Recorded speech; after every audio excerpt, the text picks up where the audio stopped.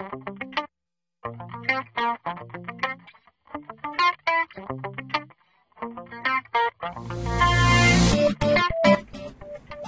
and welcome to PC Site. I'm John Hillman. Um, today we're going to be taking a look at the best of British with uh, very own Photo Plus X3 image editing software.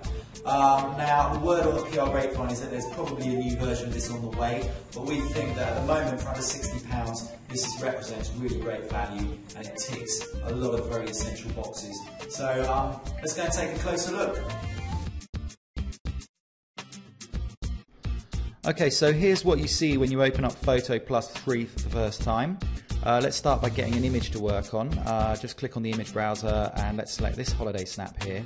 Here we are. Okay, so the first thing I'm going to show you is how to adjust the lighting. And we can do this by going up here and selecting the curves feature. Now, um, curves change the lighting in an image. It helps to make the most of any bad lighting in a photo you might have. Um, so as you can see, I'm uh, adjusting this line and making a few subtle changes uh, to the photo. Let's just do that and click OK and let's move on. Right now I'm going to show you the blemish tool. Okay, this allows you to remove unwanted objects in a photo. So I've selected that and now I'm just going to rub out this palm tree leaf um, just here uh, for no particular reason other than to show you how it works. Um, there you go, it's um, being completely removed. Uh, I think that's a pretty cool feature actually. Um, there you go. Uh, now let's go along to the instant artist feature and show you that. As you can see my arrows there, you make your choice here. Um, and these give your photos a kind of different painted look as you can see. Um, can be a lot of fun. Um, you know, make your selection, see which one looks best. Let's have a look. Uh, there's this watercoloured one. Yeah, that's quite nice um, or we can go for a pencil effect. Let's try that. Click OK when you've uh, decided which one you want. And there you go. And um, right.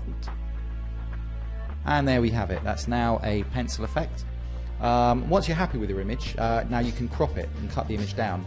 You just hit this button here, like so, and um, highlight the area you wish to keep. Um, I'll do a demonstration here there you go, you could uh, just have that bit or um, expand the size of the box. There you go. Um, could make it a bit wider, I suppose. Should we do that? And yeah, there you go. Now I'm happy with that, so I am now selecting the green tick. There you go. Okay, uh, last off, I'm going to add a bit of text just to show you how that works. So I select my font, um, click there. Uh, up, up, the top there, you can see um, we can uh, select a font size, um, and I'm also going to change the color of the text, I think, as well, just to um, give it a bit of pink there. Why not? Okay, um, and there you go. Um, write whatever you like, whatever you wish to do. I'm going to write "Wish You Were Here." Uh, which is the uh, standard cliched thing to write on anything to do with holidays, I suppose. And I'm going to, once I've done that, use this tool here just to um, position it uh, as how I like. Now this is really easy to use software. It's got um, comes with 25 tutorials to get you started, and uh, it has a really small requirement, just 128 megabytes of RAM, 328 megabytes of hard disk space. So you can install this and use it with a netbook or small PC. It's really good, affordable software, and we're really happy to recommend it. Thanks for watching.